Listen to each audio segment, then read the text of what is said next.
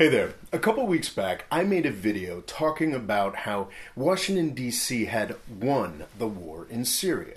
The video laid out how all the actors that are typically depicted as winning the war in Syria, from Russia to Iran to Assad himself, had actually lost, and lost big.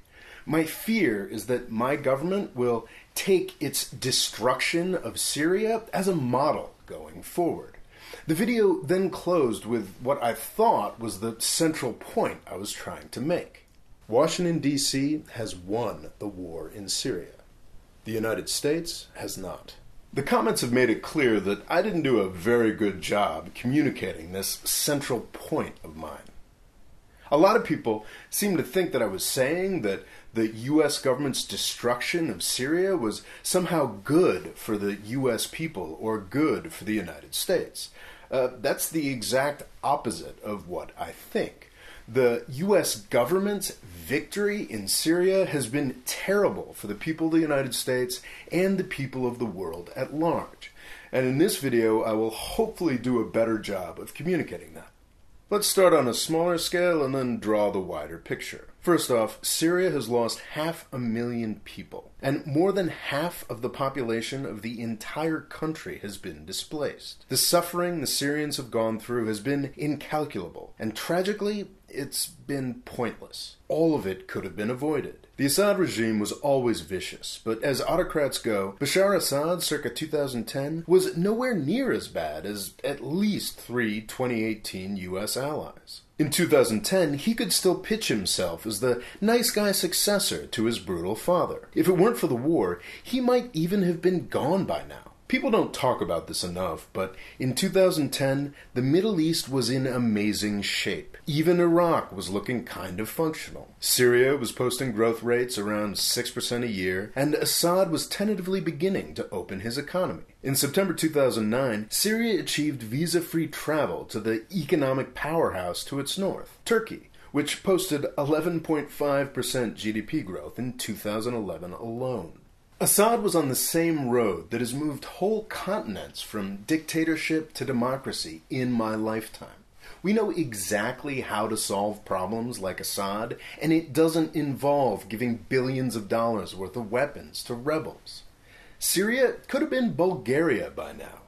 Instead, we decided to turn it into Afghanistan. I've got a whole video on this issue if you're not already too depressed. Assad is now likely to die before he gives up power. He doesn't really have any other choice. So he's just gonna get more brutal, and the war is just gonna continue. Let's look at the rest of the region. It may be hard to remember now, but as of 2011, Turkey and the United States were the best of friends, and they had been for almost 70 years. I really do think that that's the main reason why Turkey was willing to sign up to the Get Assad project back in 2011. People have other theories, but they've never really made much sense to me. Pretty much the only thing the old and new elites in Turkey agreed on was that friendship with the United States was a good thing.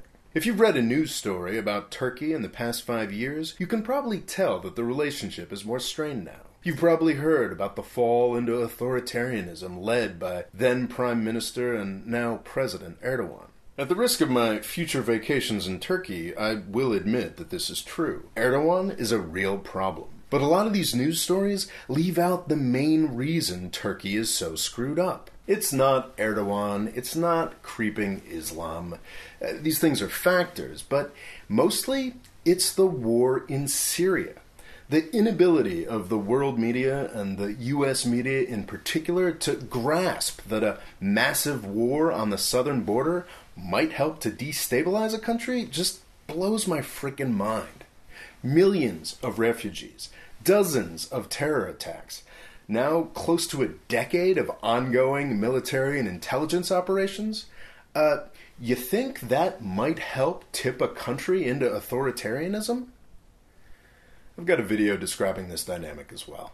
Moving on to ISIS and what it has done to Iraq and Syria over the past three and a half years. The question, did the United States create ISIS, is a lot like the question, did Saudi Arabia do 9 11? These are questions that will never be fully answered, but they don't have to be. Because we know for sure that 9 11 would not have happened without the educational and foreign policies of the Saudi government, and we know for sure that there would never have been an Islamic State without the vast ungoverned territory in Syria that the United States paid to open up. This probably wasn't what the United States intended, but it's certainly what the United States got. I could go on about the region and talk about the extraordinary disruption that millions of refugees have brought to countries like Jordan, Lebanon, and Turkey, but I think you get the picture the Get Assad project has taken a Middle East region that was maybe finally, kinda, just possibly turning the corner into something worthwhile and